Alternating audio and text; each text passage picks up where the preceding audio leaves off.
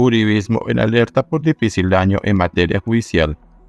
El Centro Democrático enfrenta un año complicado con alertas por posibles juicios a congresistas involucrados en corrupción y procesamiento de Oscar Iván Zuluaga. Alerta temprana. En las toldas del Centro Democrático hay alertas tempranas por lo que podría ser un año muy complicado para ese partido en materia de decisiones judiciales. De un lado está la decisión en torno a si el expresidente Álvaro Uribe será llamado a juicio. También está en riesgo de varios congresistas de esa cauda involucrados en el escándalo de corrupción conocido como las marionetas. Igualmente se da por descontado el proceso del ex candidato presidencial Oscar Iván Zuluaga. Por último, el propio Uribe alertó esta semana sobre el proceso penal contra su hermano Santiago Uribe. Cisma Verde.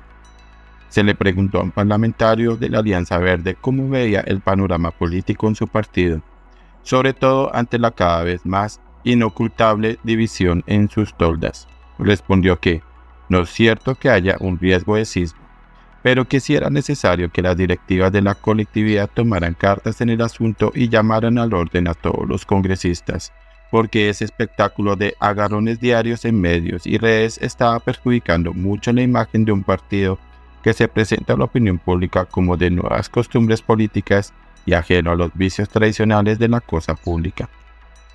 Centralismo versus regionalismo. Un experto constitucionalista le dijo a un periodista del Nuevo Siglo que en las primeras semanas de este año ya quedó en evidencia que el país va para un pulso permanente entre un gobierno nacional de izquierda que opta por profundizar el centralismo político y presupuestal frente a gobernaciones y alcaldías de otra orilla ideológica que buscan aumentar la autonomía funcional de los territorios para no estar en permanente subordinación a la Casa de Nariño y los ministerios crisis y proyecto. Los problemas financieros de las EPS están agravándose día tras día.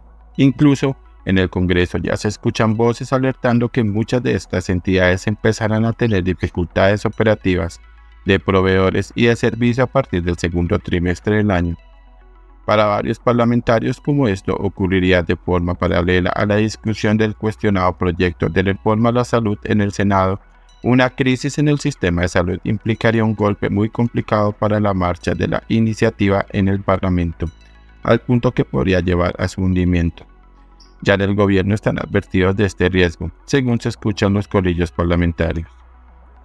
Ya se perdieron a parlamentarios de la región Caribe que vinieron a Bogotá a la velación de la senadora Pia Córdoba se les preguntó si tenían alguna esperanza de recuperar la sede de los Juegos Panamericanos 2027.